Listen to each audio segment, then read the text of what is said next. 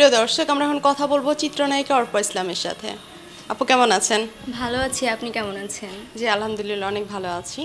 আপনি এখন পর্যন্ত কয়টি মুভিতে কাজ করেছেন? এখন পর্যন্ত তিনটা মুভিতে কাজ করছি। একটা ছবি সেন্সারের অপেক্ষায় আর একটা ছবি রানিংয়ে চলছে। আর একটা হলো কিছুদিন আগে মহরত হয়েছে। আসলে এই ছবিগুলো সবই ভালো। দর্শকে দেখে অনেক মজা পাবে।